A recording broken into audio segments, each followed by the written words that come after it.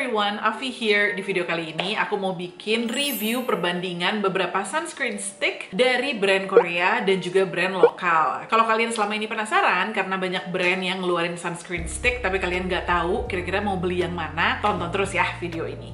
Sebelum masuk ke reviewnya, aku mau kasih tahu dulu kalau mungkin aku udah pernah ngebahas ini ya di video mengenai cara reapply sunscreen. Kalau aku tuh tidak menyarankan sebenarnya untuk pakai sunscreen stick sebagai sunscreen utama. Kalau aku personally masih lebih nyaman dan juga ngerasa kayak aman proteksinya gitu ya. Kalau misalnya sunscreen utamanya atau sunscreen yang pertama kali dipakai itu yang bentuknya lotion atau krim pokoknya yang cair lah yang memang kita bisa kontrol seberapa banyak kita pakainya dan juga kita bisa lihat gitu ya dia tuh udah merata apa belum kita pakainya karena itu penting banget pada saat kita menggunakan sunscreen. Tapi biar gimana pun bentuk-bentuk sunscreen lain kayak misalnya sunscreen stick ini atau yang bentuknya powder itu kadang-kadang memang kita butuhkan terutama untuk reapplying ya. When it comes to reapplying, kalau menurut aku mau jenis sunscreen apa pun, it's better than no sunscreen at all gitu. Jadi maksudnya mau itu sunscreen stick kayak, mau itu powder kayak gitu ya, atau misalnya sunscreen lotion lagi, bebas-bebas aja. Yang penting ya kita melakukannya karena lebih banyak orang kayaknya yang nggak melakukannya karena males, males repot gitu ya. Jadi kalau memang dengan menggunakan sunscreen stick itu kalian jadi lebih nggak males, jadi lebih rajin karena memang lebih gampang, lebih higienis juga karena nggak harus dipegang-pegang gitu kan muka kaliannya,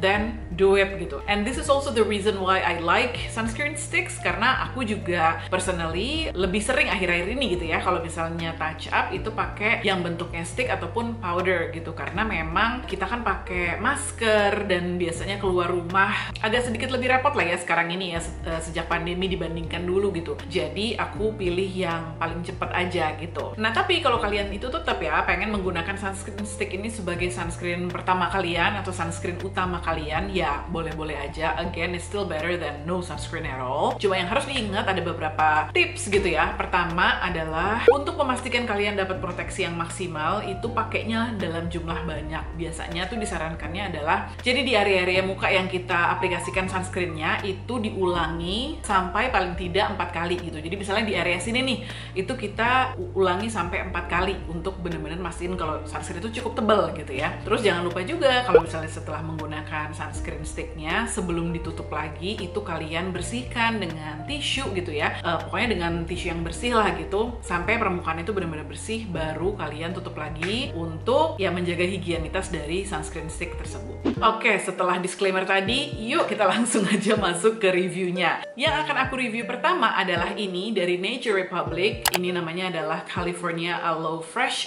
Powdery Sun Stick. Nah, sunscreen stick dari Nature Republic ini termasuk yang awal-awal aku cobain. Jadi dulu-dulu aku pernah nyobain sunscreen stick tapi udah lama banget dan ini tuh yang kayak aku pakai secara rutin gitu ya. Jadi sunscreen stick ini tuh dia bentuknya tuh curve gitu. Jadi tuh menurut aku kalau yang bentuknya curve kayak gini enaknya tuh dia jadi pada saat kita pakaiin di beberapa lekukan muka itu tuh jadi lebih gampang gitu ya diaplikasikannya. Terus si sticknya sendiri itu warnanya kayak putih kekuningan, putih susu lah gitu. Dan dia memang ada fragrance-nya. Jadi wanginya tuh kayak wangi-wangi aloe vera yang seger sih kalau menurut aku ya. Dan nggak mengganggu sama sekali. Nah ini dia itu finishnya kayak balmy gitu ya. Jadi memang nggak matte, tapi nggak basah juga gitu. Tapi memang kalau dipegang di muka itu tuh kerasa kayak agak licin-licin dikit lah gitu ya. Ya kayak balm aja sedikit gitu. Kalau di kulit aku sih masih fine banget itu ya. Nggak apa-apa banget, nggak mengganggu sama sekali. Dan nggak yang sampai bikin rasanya nggak nyaman gitu. Tapi mungkin kalau kamu kulit itu sangat berminyak akan ngerasa ini tuh kayak bikin berminyak gitu ya. Karena rasanya tuh memang dia kayak nggak ngeset gitu loh di kulit. Nah ini aku udah cobain dipakai sebelum makeup dan juga di atas makeup. Menurut aku ini tuh sunscreen stick yang nggak peeling sama sekali. Jadi dia sama sekali nggak akan ganggu uh, makeup. Dia nggak ada tahu kan yang peeling yang kayak uh, apa namanya bowling up gitu, kayak daki-daki putih gitu. Dia nggak sama sekali. Overall I really like this. Makanya aku pakai sampai lama. Ini tuh juga dia nggak juga bikin um, nggak nggak clogging my pores gitu ya, nggak bikin jerawatan, nggak mengganggu sama sekali. Dan kebanyakan sunscreen stick itu kan dia memang chemical sunscreen ya, jadi emang invisible atau nggak ada uh, white castnya sama sekali. Walaupun ini udah agak lama keluarnya, still one of my favorites. Walaupun mungkin harganya tidak murah-murah banget gitu ya, tapi aku suka sama ini. Sunstick berikutnya masih dari brand Korea. Ini namanya adalah Kramer Lab Invisible Stick Shield UV Protection SPF 50 plus PA plus plus plus plus. Jadi Kramer Lab ini satu brand Korea yang aku lumayan suka sih. Jadi ada beberapa produknya tuh kayak essence-nya, moisturizer-nya tuh aku suka banget, bagus banget. Nah, si sunstick-nya ini dibandingin sama sunstick yang aku review di video ini, ini kayaknya bisa dibilang paling mahal gitu ya karena harganya tuh kayaknya aslinya 450 ribu deh gitu walaupun dia sering diskon di CNF gitu. Nah, dia itu bentuknya si sticknya itu tuh agak lebar gitu ya. Jadi pada saat dipakai dia kayak bisa mengcover area muka kita tuh lebih luas gitu. Tuh bisa dilihat. Terus warnanya tuh juga warna putih-putih milky gitu dia ada wanginya, wanginya wangi-wangi floral yang delicate banget, yang lembut banget gitu ya, nggak mengganggu. Nah, ini pada saat diaplikasikan ke muka bare face, jadi bukan di atas makeup, itu dia tuh meninggalkan kayak ada tampilan glowing gitu. Jadi kayak kelihatan kayak sedikit glossy gitu tampilannya. Jadi, plusnya adalah kita jadi tahu area mana yang udah kena sunscreennya, sunsticknya gitu. Karena sunstick itu kan rata-rata memang invisible gitu ya. Jadi itulah susahnya karena kita jadi nggak terlalu tahu nih udah merata apa belum sih gitu enaknya karena dia jadi kelihatan kayak ada bagian yang basah gitu jadi kita tahu oh ya bagian ini udah dan tinggal diulangi aja pemakaiannya sampai empat kali kayak tadi aku bilang gitu ya. Nah tapi uh, minusnya kalau ini diaplikasikannya di atas makeup dia itu agak ngegeser makeup kita. Jadi kayak misalnya aku lagi pakai foundation gitu ya foundationnya tuh jadi bergeser gitu setelah aku pakein si sunstick ini. Nah kekurangan itu jadi cukup mengganggu karena seperti aku bilang kan kalau aku tuh kebanyakan pakai sunstick itu adalah di atas makeup gitu. Jadi kalau misalnya dia menggeser makeup, ya that's a problem for me. Cuma kalau ini kita pakainya tuh pada saat hari-hari di mana kita lagi nggak pakai makeup ya. Jadi misalnya kita pakai sunscreen aja, terus kita keluar, habis itu kita mau reapply, nggak ada masalah. Nah ini again kalau aku sih suka uh, finish yang jadi dia tuh kalau dipegang emang berasa lembab kulit dan agak powdery gitu ya. Aku suka yang seperti itu. Cuma kalau kamu kulitnya berminyak mungkin harus agak mindful aja karena mungkin kamu lebih suka yang finishnya itu matte. Tapi overall, ya yeah, it's a it's not bad. This sunstick gitu ya aku cukup suka uh, pakainya. Karena formulanya tuh yang itu tadi gitu ya aku bilang cukup nyaman terus moisturizing nggak bikin kering nggak bikin berminyak juga. Finishnya aku suka karena dia kayak powdery dan apa namanya soft gitu di kulit gitu ya. Dan wanginya juga aku suka banget karena citrusy yang fresh gitu. Dan yang aku suka juga ini tuh nggak peeling gitu ya dipakai di bawah makeup ataupun di atas makeup. Cuma ya itu tadi aja dia ngegeser makeup căn nhà oke okay, sunstick berikutnya dan ini juga masih dari brand Korea, dari brand Mamong. Namanya adalah Everyday Sunstick SPF 50 Plus PA+++++. Kalau lihat dari bentuknya sekilas mirip ya sama Nature Republic, warnanya mirip, tapi ini agak lebih kuning. Terus dia juga curve gitu, mungkin kalian bisa lihat ya, bentuknya tuh lebih kayak curve gitu. Jadi memang ya itu tadi gitu ya, kalau misalnya dipakai di beberapa area kayak di sekitar hidung itu lebih gampang. Dia juga mirip-mirip sama yang lain, jadi warna apa sticknya itu tuh kayak putih kekuningan gitu. Nah, ini dibandingkan Kramer Lab dan juga dibandingkan sama Nature Republic, menurut aku ini yang paling matte gitu ya. Jadi, baik itu dipakai sebelum makeup ataupun di atas makeup itu dia memang finishnya itu lebih paling matte lah gitu, nggak nggak yang terlalu powdery ataupun uh, balmy gitu. Jadi, kalau dipegang memang of course masih ada uh, kayak rasanya lembab sedikit, tapi tampilan di mukanya itu tuh lebih matte. Nah, as you know ya, kalau kita pakai sunstick itu biasanya tuh dia memang kayak ninggalin lapisan di muka kita. Jadi dia bukan yang bener-bener akan fully menyerap gitu ya. Jadi kalau kalian ngerasanya kayak kok ini kayak nggak menyerap menyerap nggak ngeset ngeset ya? Karena emang rata-rata sunstick tuh seperti itu gitu. Nah ini juga ada wanginya. Wanginya tuh kayak buah-buah bunga yang Hmm, lumayan, lumayan kenceng tapi nggak yang mengganggu banget kalau menurut aku. Cuma ini yang paling mengganggu kalau buat aku adalah dia itu peeling. Jadi dipakai di sebelum makeup itu peeling. Kayaknya karena dia tuh ada silikonnya, jadi ada beberapa makeup aku yang pas aku pakai tuh dia peeling dan lumayan parah gitu ya. Terus di atas makeup juga sama gitu. Ada beberapa spot tuh yang emang dia ngelupas-ngelupas gitu, which is very unfortunate karena sebenarnya ini tuh enak gitu ya dipakainya. Karena dia tuh pas dipakein pertama kali dia nggak ngegeser-geser makeup gitu. Jadi dia tuh kayak kayak bikin makeup ya tetap biasa aja gitu ininya tampilannya. Tapi lama kelamaan tuh dia peeling jadi mm, makeup itu tuh malah jadi kayak patchy udahannya gitu. Itu sayang sih karena kan aku emang seringnya pakai makeup gitu kan. Jadi kalau ini tuh sampai mengganggu pemakaian makeup tuh kayak jadi agak males menggunakannya gitu kan. Aku akan lebih pilih yang emang nggak messing up with my makeup at all. Tapi kalau misalnya aku lagi nggak makeupan atau kalian sehari-harinya memang nggak makeupan ya you might try this one. Karena kalau dilihat-lihat reviewnya juga banyak yang bagus-bagus. Ini juga harganya lumayan murah dibandingkan brand Korea yang lainnya gitu ya. So walaupun review aku seperti ini you might like it so you should give it a go too. Oke okay, sunscreen stick dari brand Korea udah habis. Aku review sekarang kita move on ke brand lokal. Dan yang pertama yang mau aku review adalah ini dari brand Ingrid namanya adalah Stand Strong Daily UV Sun Protection Stick SPF 50 PA+++++. Jujur aku nggak terlalu tahu tentang brand Ingrid ini, ya aku tahunya itu adalah ini produknya gitu ya. Jadi aku tahu brand Ingrid itu dari produk si sunsticknya ini dan menurut aku mereka termasuk yang awal-awal bikin gitu ya. Jadi kayak yang lumayan cepet lah bikin. Dan kalau kalian lihat review-reviewnya kayak di Female Daily itu juga uh, bagus-bagus dan gak heran sih karena aku juga cukup surprise waktu aku pakai ini tuh dia tampilannya itu lumayan matte gitu ya. Jadi dia gak terlalu balmy, gak terlalu powdery juga. Memang tetap kayak aku bilang tadi ya semua sunstick itu tuh memang dia nggak akan yang bener-bener menyerap. Jadi kalau dipegang tuh memang ada rasa kayak lip lapisannya gitu. Tapi overall tuh menurut aku ya kalau kalian kulitnya berminyak harusnya suka sih. Karena kayak invisible aja gitu dan nggak kerasa berat sama sekali. Aku pakai di bawah makeup dia nggak ganggu makeup. Aku pakai di atas makeup juga dia nggak geser-geser makeup. Very practical. Kemasannya memang kecil tapi mungkin some people will like it gitu ya karena dia jadi gampang dan enteng dibawa-bawa walaupun yang lain juga nggak ada yang berat sih.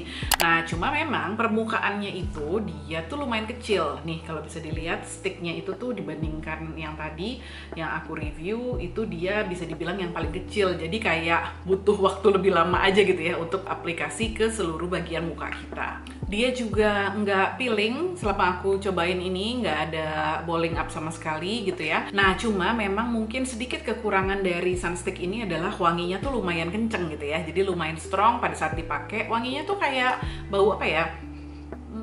Kayak bau-bau powdery gitu deh pokoknya gitu ya. Tapi lumayan sih kalau apalagi kalau kita pakai dalam jumlah banyak ya itu uh, kecium. Tapi kalau misalnya kalian bukan tipe yang terganggu sama wangian gitu ya it's still fine kalau menurut aku. Yes so overall for this sunstick from this local brand Ingrid ini sangat-sangat not bad gitu ya. Ini bisa banget kamu consider terutama kalau misalnya kamu tuh kulitnya berminyak Next kita bahas dari local brand berikutnya. Ini dari Do It. Namanya adalah Do It in the Morning Face Sun Stick SPF 50 PA++++. Menurutku dari segi packaging ini kayaknya bisa dibilang yang paling bagus, paling lucu di antara semua sunstick yang aku punya. Kalian masih lihat kayak detail-detailnya tuh lucu banget, warnanya juga bagus. Terus mereka tuh ngeluarinnya tuh ada dua produk lagi ya. Jadi si sunstick ini terus ada sunscreen spray sama ada kayak after sun lotion gitu dan semuanya tuh packagingnya gemes-gemes banget. Si sunstick ini tuh dia klaimnya water and sweat resistant juga, jadi bisa dipakai up to 120 menit alias 2 jam gitu ya. Of course kalau aku sih personally tetap kalau kalian memang di bawah sinar matahari terus-terusan um, ya harus sering-sering reapply lah gitu ya. Terus dia tuh juga positifnya ada kayak pelapisnya lagi gitu ya. Jadi ada pelindungnya lagi. Jadi kayak extra protection lah supaya sunsticknya itu lebih bersih, lebih higienis gitu ya. Jadi ini tinggal dibuka aja. Terus dia warnanya juga putih kekuningan. Ini lebih kuning sih dibandingkan yang tadi aku review gitu ya. Dan permukaannya itu cukup lebar. Nah ini pada saat diaplikasikan ke muka, dia itu tampilannya kayak powdery juga, nggak ada shine-nya, tapi juga bukan yang matte gitu ya. Jadi kayak satin lah gitu kalau menurut aku finishnya. Dan enak sebenarnya gitu ya. Jadi kayak I don't know, I like how it feels on the skin gitu karena kayak rasanya tuh uh, lembab tapi juga tidak lengket gitu ya. Pokoknya menurut aku tuh feel-nya tuh enak gitu. Tapi sayang banget ini tuh peelingnya kalau di aku cukup parah sih gitu. Jadi um, I'm really sad to say this because I really really wanted to like this product. Sorry banget do it gitu ya. Tapi beneran aku udah coba berkali-kali gitu ya dan menurut aku tuh peelingnya agak susah banget untuk diakalin gitu ya. Jadi kalau misalnya aku sebelumnya uh, maksudnya sebelum pakai makeup pakai ini itu makeup aku jadi susah nempel jadi peeling. Dipakai di atas makeup pun demikian. Bahkan aku pernah coba nggak pakai makeup kalau pas kebetulan aku lagi pegang tangan uh, mukaku gitu ya. Itu juga kerasa kayak ada lapisan-lapisan yang menggumpal gitu. So uh, aku nggak tahu apakah formula yang aku dapetin ini aja yang seperti itu gitu ya. Tapi menurut aku agak kurang nyaman jadinya makainya gitu ya. But you let me know kalau misalnya kalian ada yang cobain ini dan hasilnya nggak kayak aku, nggak feeling gitu ya. Let me know in the comment box below karena bisa aja ini cuma pengalaman aku aja. Oke lanjut ke sunscreen berikutnya yaitu dari Something. Kalian kalau dari jauh juga mungkin udah tahu ya kalau ini tuh adalah sunsticknya Something. Namanya adalah Glowing Up Sunscreen Stick with SPF 50 PA+++++. Jadi kalau kalian lihat kemasannya, ini tuh mungil gitu ya, kecil banget. Mungkin mirip atau sama sama Ingrid ya, cuma karena Ingrid tuh mungkin lebar, jadi kelihatannya kayak lebih gede gitu. Tapi sebenarnya kalau dilihat, Ingrid ini tuh 11 gram. Kalau something, Unfortunately Mama Ovi nggak bisa baca karena kecil banget tulisannya. Kayaknya nih ya, kalau nggak salah kayaknya ini 15 gram. Coba tolong dede-dede gitu ya yang di rumah yang matanya udah lebih awas.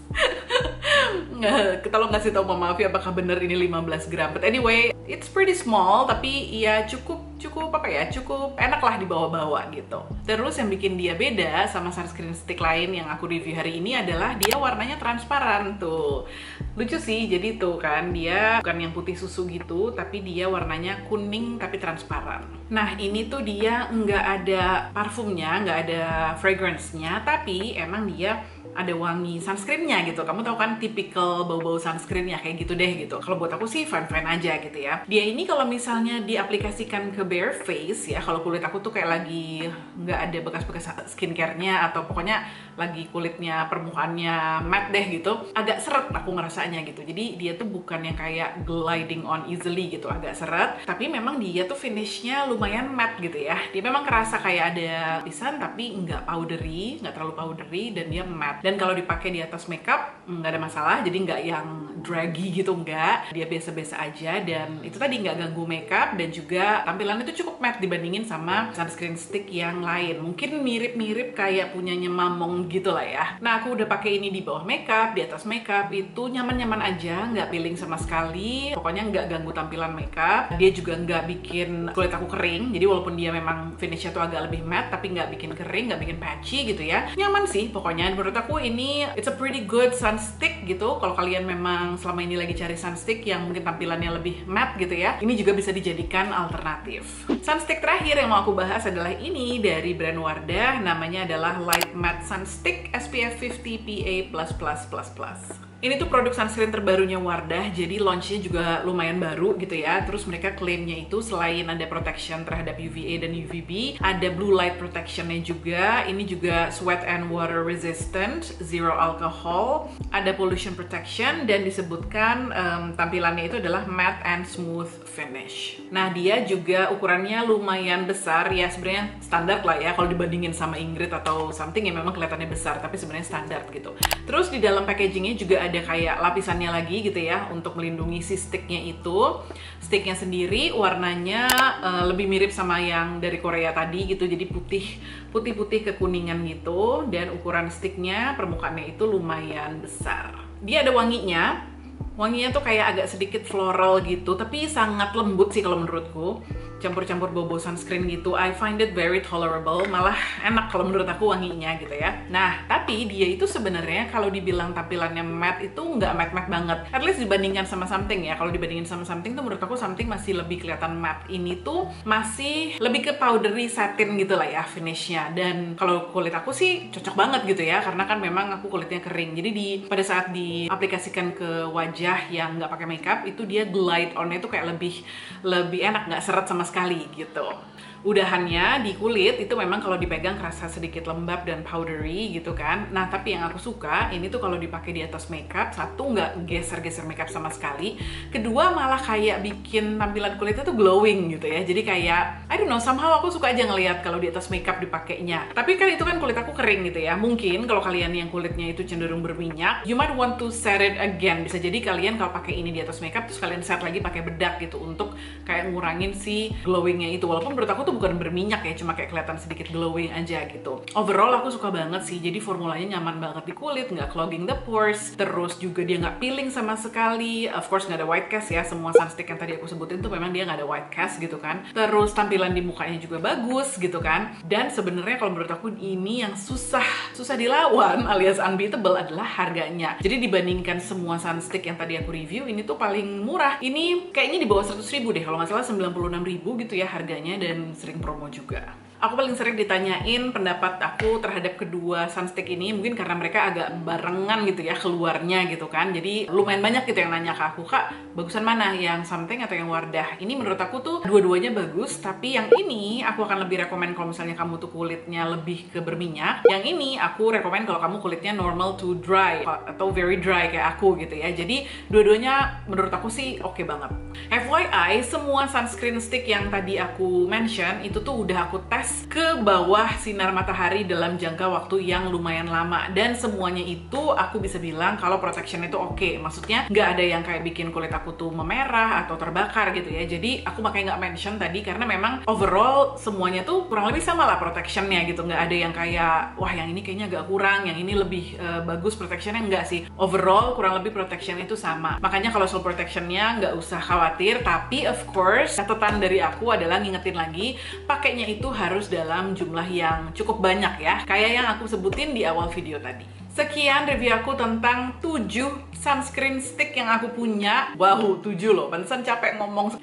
Sekarang agak-agak seret gitu tenggorokannya. Mudah-mudahan membantu untuk kalian yang sekarang lagi menimbang-nimbang kira-kira sunscreen stick mana nih yang harus dibeli gitu ya. Dan kalau misalnya kalian punya uh, sunscreen stick lain yang mau aku review atau kalian mau review sendiri di comment box boleh banget. Or if you have other experience using one of these sunscreen sticks that I've reviewed, boleh juga silahkan tulis di comment box di bawah. Oke kalau gitu kita ketemu lagi di video berikutnya. Terima kasih udah nonton video ini. Jangan lupa untuk subscribe kalau kalian belum subscribe dan juga nyalain lonceng notifikasinya supaya kalau aku bikin video lagi kalian gak ketinggalan. Thank you for watching everyone. Bye.